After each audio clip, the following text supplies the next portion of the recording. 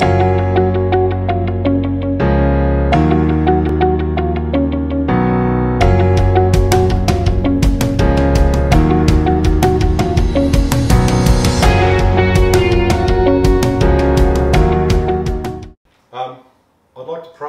first, and it's the shortest prayer ever, but it's one I try and pray every morning. Father God, you first today. Father God, help my unbelief and forgive my sin. In Jesus' name.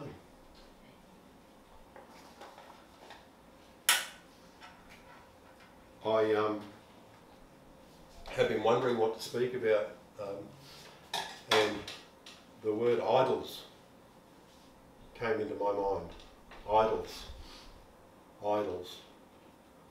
And I started thinking about and saying to Abba, Abba Father, I call God Abba. Abba in, in the Hebrew is Aleph Bayet, Bayet Aleph, and it means my son pitches my tent with me and my father pitches my tent with me. So if you hear me say Abba, that's why. Um, I love it, it's brilliant. And I said, so idols. Okay, well we haven't got any idols. Every our house is good. There's no totem poles, there's no um, obelisks, there's no doodads. Or is there? Or is there? Or is there idols in our home? In your home at home too? No, I don't start. So I started looking in the scriptures and I thought, okay, well that's the best place to go. Abba, if you want me to speak on this, then you need to help me. So he said, righto, well, go to your favourite book, Exodus, your favourite chapter, verse 20, and read the first six verses. And I said, I will. So then Abba Father spoke all these words, saying, if you'd like to go there to uh, Exodus 20, verse 1, sorry. Then Abba Father, because he is Father, isn't he? Spoke all these words, saying, I am Adonai. Adonai is Hebrew for master. I am Adonai your God, who brought you out of the land of Egypt, out of the house of bondage. I look at that, I love that scripture because when the Israelites were released by Abba Father, they had a 210 kilometre walk. That's how far it is from where they were to where they had to go. They spent 40 years trying to get there, and it's amazing because no one for a second said, Oh, gee, I've seen that mountain before. In the middle of all of that, Moses went up to a rock with a stick, his staff, and he went tap, and enough water came out of that to fill Sydney Harbour. Okay? The reason I say that to you, it, it, it watered three million people and livestock. Okay? Having had horses and stock myself and cattle in the past, they don't drink one or two litres, they drink as much as they can get. So that's amazing. I look at that and go, wow, I bought you out of this place and I fed you all the way. And then he says in Exodus 20 verse 3, you will have no other gods, little g, before me. You, that, that's not a request. You will have no other gods before me. Exodus 20 verse 4, do not make for yourself a graven image. I've often wondered what that meant. A graven image. I thought, I've got to find out what that means. And that was my mistake, I did. Or any likeness of anything that is in the earth, above or on the earth, below or in the water, under the earth. So pretty well anywhere. Don't have one of these things. Don't make one and don't have it anywhere. Exodus 20 verse 5, do not bow down to them. Now the Egyptians were good at that. The Romans were even better. I'm going to tell you a little something about them shortly. Do not bow down to them. Do not let anyone make you serve them. In other words, don't let anyone force you into something which is in direct contravention to your faith. For I, Adonai, your God, am a jealous God. He's jealous over us, like a chicken over her hens, bringing forth the iniquity of the fathers upon the children to the third and fourth generation of those who hate me, says Abba Father. At 20, verse 6, but showing love kindness to the thousands of generations of those who do love me and keep my mitzvah, my, my, my commandments. And I read that and I thought, come on mate, you're smart. Have you got any idols? Of course I haven't. Got these wonderful friends here, Simon and Zoom, we've known for what, 10 years, brother? Mm-hmm. My wife been married 10 years, I've met all these wonderful people here, we get to minister together, we get, I haven't got any idols. Hmm. Oh, ye- oh yes I do. Yes I did. Hmm. What's an idol? Okay, well, I'm glad you all asked. I'm going to tell you. Uh-huh. Okay. So I said, I, I love reading the word and I love the interpretation of the Hebrew and the Chaldean, the Greek. So I thought, okay, well, what is an idol? What, is, what does God think an idol is? What does Abba Father say to us an idol is? So, as is the best thing to do in any situation, I started at the beginning. So in Leviticus 19, verse 4, the interpretation of the word idol is El El, E L space double E L, and it means good for nothing. There you go. No value, thing of nothing. That's what it means. I thought, okay, well that, that that's good. An idol is not good for nothing. Thank you, Father. Surely that can be the only thing you think of it. No, I was wrong. Leviticus 26:30. And if you read through the scriptures, you see the same word over and over again, but it's got a different meaning. And it's got a different meaning for the circumstances of the verse, of the, of the, uh, of the uh, verses and chapter. Leviticus 26:30, um, I read there, an idol. And you can look up the, the, the scriptures. Um, and the word there is gilul, and it means a log. Remember that because there's more to come. Then I kept going through and I saw in 1 Samuel 31 verse 9 the word orsorb. And it said, an idolatrous image. A picture of an image which the owner worships and places above Abba Father or instead of Abba Father. Additionally, prefers the idol worship but does not deny Abba Father just in case. It's like saying, well, Father, I'll, have, I'll, I'll hold your hand here, but I'm going to live my life over here. Yeah, I've got a sad story to tell you. It doesn't work that way. I was listening to Mary Lynn before, and it occurred to me our relationship with people sort of say, you know, gee, this relationship with God's hard. It's actually not. It's only hard for us. It is. It is tough. It's a tough gig, right? But it's a wonderful gig. But it's hard for us. You know why? Because when you get married, Lynn and I've been married for ten years, and we're still learning each other. You know, we're still learning, and and with her diet, it changes day by day. So that you know, stay on your toes. But he's already fully bottled with us. He knows who we are. Behold, I stand at the door and knock. 24 hours a day, seven days a week, I know who you are. I know your heart. I know what you think. I know how you like your coffee. I know everything about you. He says to me, Mark, I know you want an F100 with a 351 Cleveland in it. I know that. Turn it into one, be great. So we can't have God just in case. There is no such thing of just in case. I believe Pastor Simon called fire insurance salvation. And I agree with that. You can't say, yes, please, save me. I've got a, a family member I love dearly who did that very thing. Um, and he came away quite disappointed. I pray for him pretty well daily. Anyway, so I went on 2 Chronicles 15, verse 8. I, I, I hope I can pronounce this right. Sheik Kutz is the uh, next interpretation for what is an idol. It's, it, this is really cool. It means disgusting. It means filthy. It means an idol, abominable, filth, detestable. When was the last time you heard the word detestable used in a sentence? The next one was 2 Chronicles 34, verse 7. And it's Cammorn, and it means the sun. Well, the Egyptians were good at that back a few thousand years ago. They had the sun god, Ra, and they figured that they would worship him. What did he do? He just gave them a desert. Isaiah 45, verse 16. The next word is seer. T S E E R. I don't know if it's a silent T or not. This is an interesting one. I sat and thought about this for a while. It means a form. Now think about what you can have as an idol in the physical, a form of beauty, as if pressed out or carved out. Um, do you remember the statues in in uh, Italy and Greece? You know, the Yeah. with no clothes on, and No. Hence an idolatrous image, but one of beauty.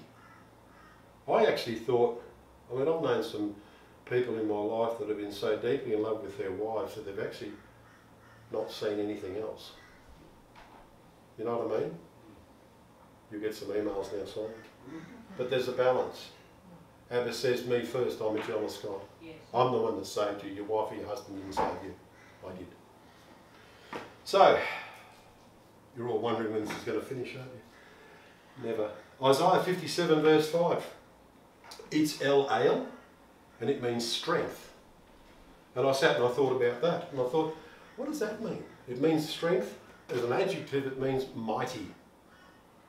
And then I thought about how we use our time. And you spoke about it yourself, Marilyn. How, how much of our time, men, have we wasted? I used to live, we used to, my wife and I used to live opposite a boat ramp. We were like, seriously, 100 metres from the boat ramp. And it used to break my heart because every Saturday morning we would see guys, good old Aussie guys, and you'd always knew they were Aussies because the boat would be there and there'd be 12 or 14 cartons of beer out of the boat into the, into the, into the fridge and there'd be 15 bags of ice and, and you see him with his wife and his two kids and he backed the boat in, uh, always do it pretty well except the little fella that backed into the light that day, that was hilarious. And, and he, he, they were back in, they take the boat off the trailer and the guy jump in the boat with four of his mates and the wife and the kids would go home. And, I said, and you see the look on the kid's face, Daddy, oh, can I, can I have some of you too?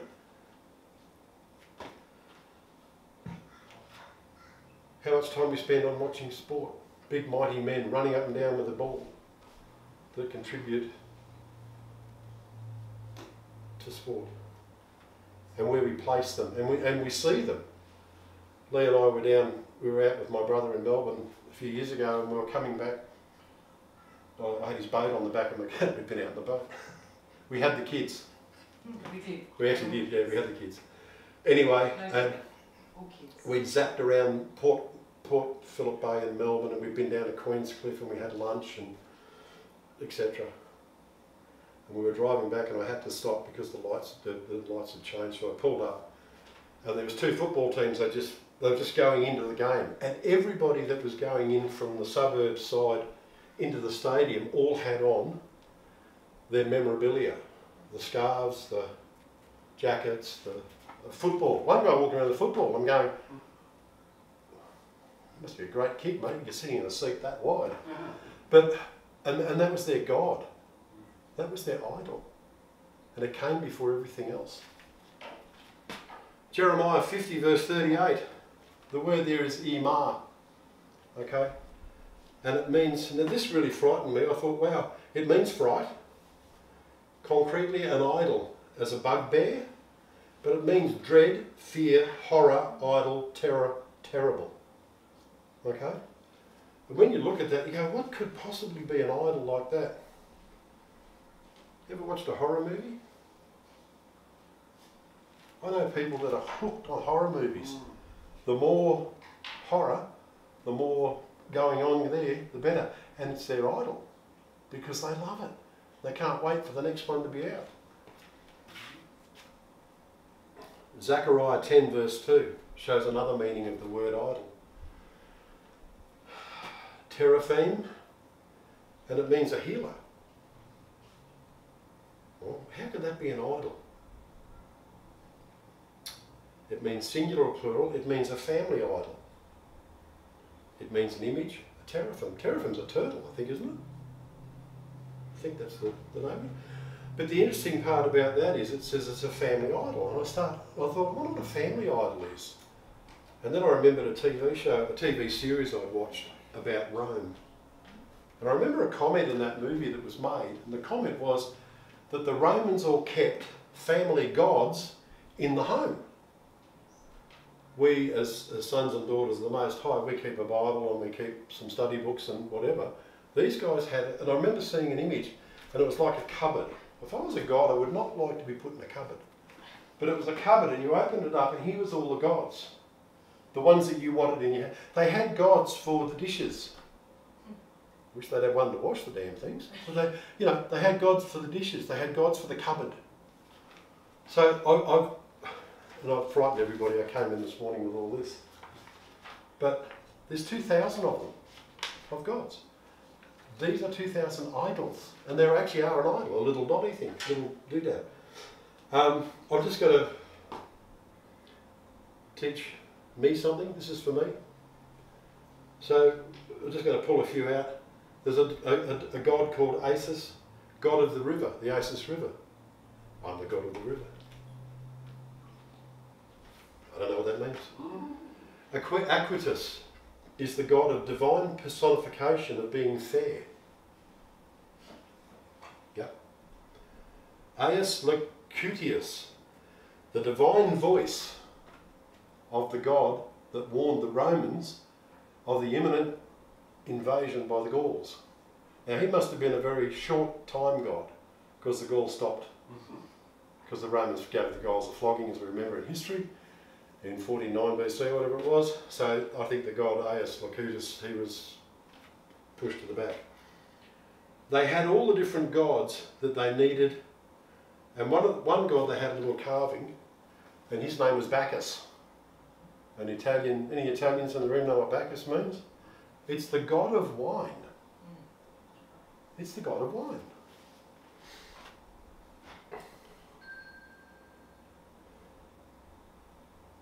Now here's one, the Cardea. This she, this one, she's the goddess of the hinge. I don't even know what that means. That's it. It didn't say squeaky hinge. Then there's the goddess called Dea Dia.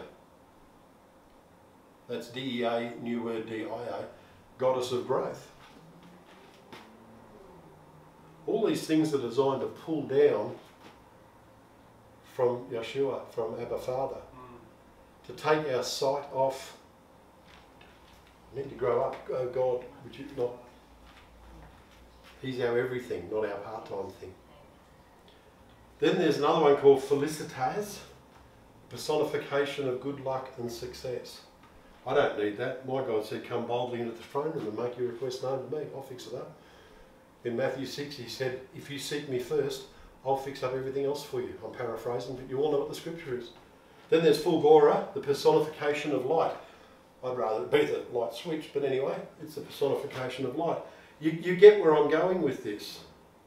There's um, Luna, the goddess of the moon.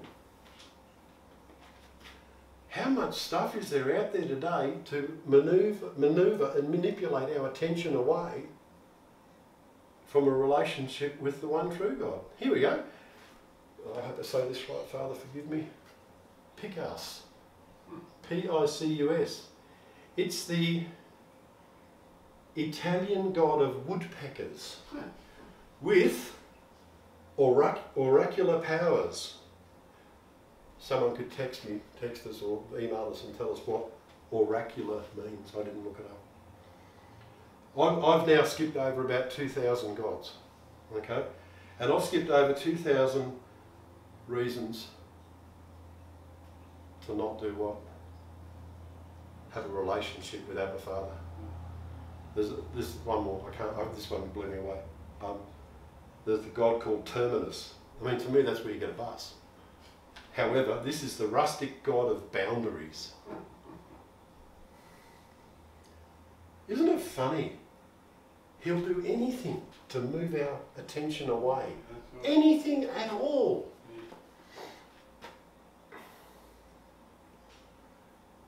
I did say to you about the God of the log. And I sat and I thought, yesterday I thought, what do you mean log? Where else have you talked about log? And, and he told me where. And it was Matthew 7, verse 3. And why do you take note of the grain of dust in your own log, in your own brother's eye, but take no note of the log or plank of wood which is in your own eye?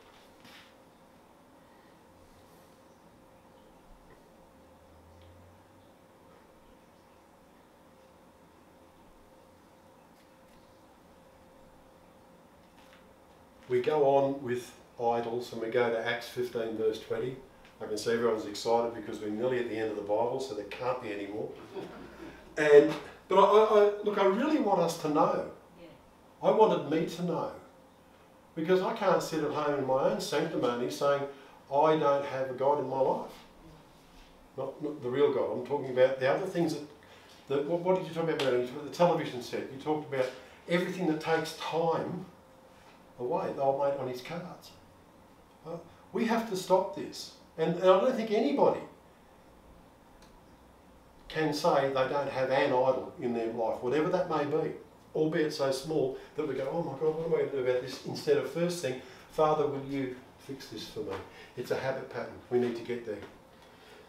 Acts 15, verse 20, idolon, the definition for that is an image or likeness. Whatever represents the form of an object, either real or imaginary. So the idols can be what? Thoughts. You all know this anyway, don't you? You're all shaking your heads, yeah? Because that's the word tells us all these things. But I needed to know what I'm up to and then share it with you. Used of the shades of the departed, apparitions, spectres, phantoms of the mind. I mean, isn't psychiatry a great industry today? You know, if you ever watch that movie, what was it called?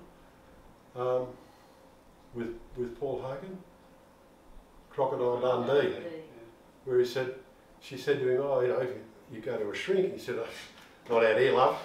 You have a coldie, you tell your mate, he tells another mate, problem out in the open, no worries, finished. I mean, isn't that how I have a father though? Father, my problem is this. He's sitting there going, I already know it, but tell me anyway, because I want you to tell me. An image of a heathen god and a false god. There you go. So idolin means a false god. And that means that we can be fooled. We can be fooled. We can be uh, in a place where we think something detrimental to the Word of God, because the Word of God's quite big. It, it, takes a bit of time to, to digest it. I've been reading it for 10 years and I'm still. Anyway. So, it, it tells us that we can be manipulated if we let ourselves. We've got to keep on our mettle. This is a battle. This is not a. I don't remember anywhere it said, look, come to me, it's going to be great. You know, on this earth. Because we're only renters here.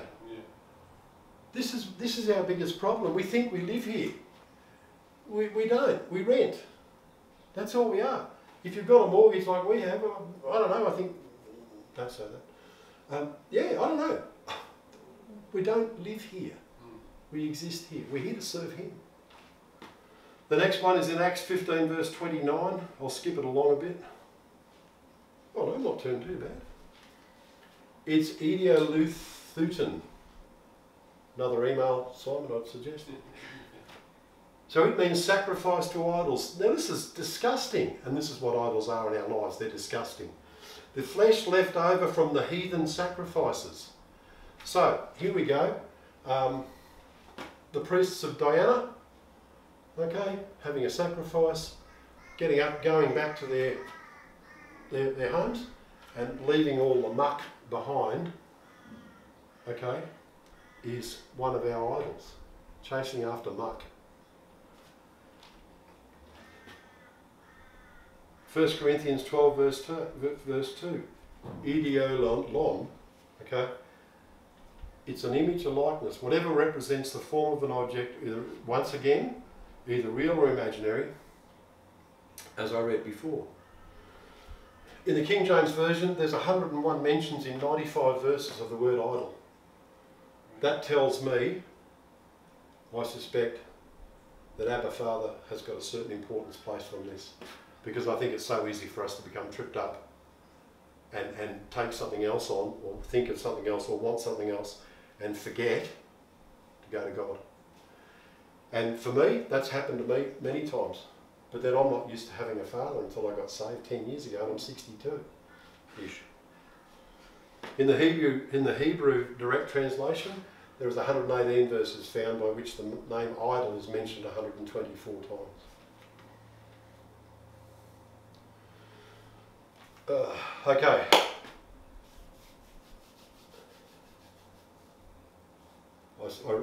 Christianity. I suspect Abba Father placed a certain importance on this, as it is the one subject that will tear us away from Him. If we entertain, allow, or remain ignorant of what an idol is. So, in the interest of brevity and being direct, I will tell you what it is. Anything you put between your heart and the triune being Abba Father, Yeshua the Messiah, and the Ruach HaKodesh, Holy Spirit. Anything at all. If we place anything between Him and us, we become idolaters. Okay, He doesn't say we're a sinner for a minute or two, He says you're an idolater. I'm going to tell you where. If we choose life with Him, we must give Him what He wants, which is our submission to Him, which is our love to Him, which is our learning to creation of, and being, learning to have a relationship with Him. If we don't, Ephesians 5 verse 5, for this you know that no whoremonger, nor unclean person, nor covetous man who is an idolater. If you want something that's not yours, you are an idolater. I can't, I'm not going to sugarcoat this because we are in end times. We, the times are, are, are so short. We can't mess around with this. We're either in or we're out, you know. Who is an idolater has any inheritance. Now listen to me. Has any inheritance in the kingdom of Christ and of God. Let no man deceive you with vain words, for because of these things come the wrath of God upon the children of disobedience. But be not ye partakers with them, but seek ye first the kingdom of God and his righteousness, and he will add everything to us. We don't have to think about these things, nor should we. We should every morning, Father, you first, in Jesus' name. Okay, I'm gonna I'm gonna wrap this up. I want to explain to you what Matthew 6:33 means, and then I'm, I'm done. But seek. The word seek, zetio. Yes, I've been a smart boy all week. I've been looking at. Listen to me. I want to share it with you because it, it touched my heart. Zetio. The word seek. Seek ye first. Seek. Matthew 6:33. Matthew 5, 6 and 7. Christianity 101. Amazing. Seek. What does it mean? To seek in order to find. This is how we are to look for Yeshua. This is how we are to find relationship. To seek a thing, to seek in order to find out. By thinking, by meditating, by reasoning. Come, let us reason together and work out your salvation. Okay? To inquire into, to seek after, to seek for, to aim at, to strive after, to seek, require, and demand. To crave and demand something from someone. Seek first. What does the word first then mean? Proton, first in time and place. The very first thing. Okay, of any day, of any time, in any succession. First in rank, influence or honour. Seek him first in all of these ways. Seek what? His kingdom. The word kingdom is basilia. Now this is I talked to talked to Lee about this last night or this morning. Seek what? What's his kingdom? Royal power, kingship, dominion, rule. Not to be confused with an actual kingdom, but rather the right or authority to rule over one. And it's his. There's a lot more there, but I think that's the most important one. Righteousness. That word is, I'm not even going to try it. It's G1343 if anyone wants to look it up. I'm going to tell you what it means though, in a broad sense, state of him who is as he ought to be, righteous, the condition acceptable to God. So to wrap it up, so here's some of the idols and what the Father thinks of them. They are good for nothing. They are like a totem pole of no use. They are a picture of anything you put between Abba Father and you. That picture can be something you have in your wallet, on your wall, or in your head. Mm-hmm. Okay, you have a picture of something the way life is. Have you ever heard people? Oh, it used to be so great life.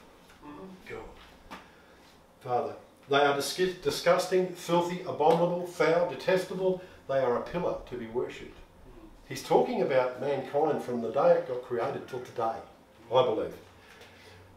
They are a pillar to be worshipped like an obelisk or something of that nature. They are a carved or shaped image. They represent strength, power, which we would like to have to, to become adored by the masses. An actor, famous actor, Tom Cruise or something like that. Sorry, Tom, you're probably a great guy. They are dread, fear, horror, idol, terrible, terror. Sound familiar? Horror movies, demon worship, etc. They are idols passed down in a family. Didn't I get on my knees yesterday and pray for my children? The idol also is the panic of what is happening on this earth today finances, houses, superannuation, medical insurances, our families, anything that we grab hold of and put before saying, Father, can you help me please with what's going on on earth? Can you? He says he'll keep us. Why don't we believe him? I've got a lot more here, but I'm not going to go. Actually, I might. One more. Yeah, just kidding.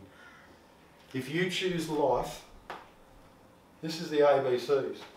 I haven't got it. Okay. ABC. Admit. Admit, believe, and confess. It's really not that hard. But do it out of your heart. Don't parrot it off because we say so. Do it because it's what you want. If you choose life, love, relationship with the inventor of love. God is the inventor of love. He's the starter of it. I don't have another word. He is love. God is love. No one else is. He is. So if we choose a relationship with Him, then we need not worry about anything because He's promised to look after us. I read that in Mark 6, Matthew 6. Seek ye first me, says Father God. He cannot lie, so therefore he is truth, and we don't need the idols, only him. The law of God requires that every son and every daughter of Adam shall love him supremely.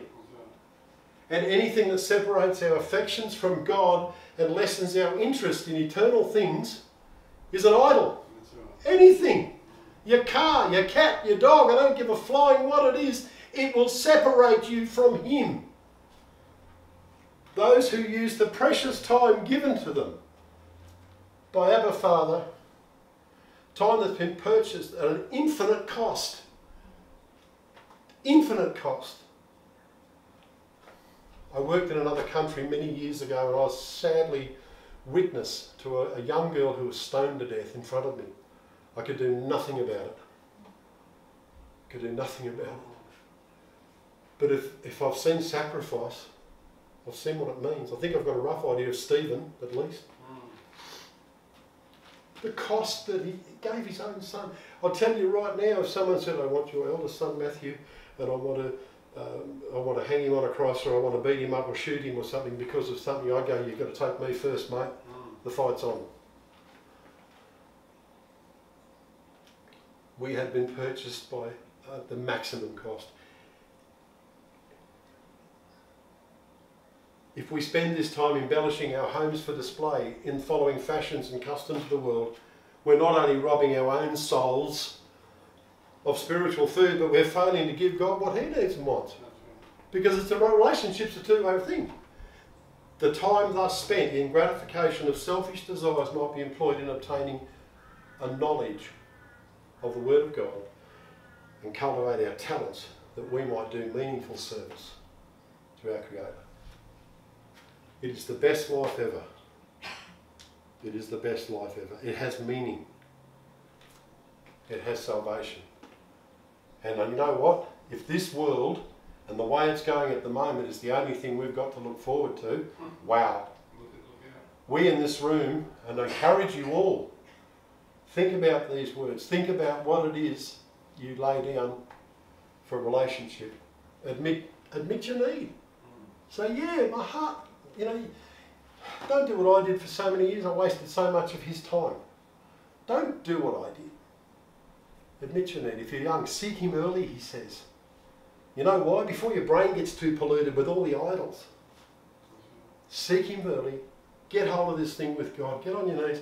You know what? You just got to talk to him. I get up in the morning, when I take my wife, I come home, I say, Father, just in my lounge room, with my bowl of porridge. So I'm losing weight. You're all supposed to go, here to see that. Um, you know, with my porridge and my honey, and I sit there and say, Father, you first. I want you first. In everything I do, when I walk downstairs to go to my workshop, when I, whatever I'm doing, you first. Father, please help my unbelief. Please help what I can't comprehend. That's me mixing porridge. I don't have a nervous tick. Um, I've finished now. I'll eat it. Um, and please forgive my sin. Forgive my stupidity. Forgive the silly things that come out of my mouth. Forgive what's in my head that I think that I shouldn't. Please, Father, forgive me for the 40 drivers I've abused yesterday.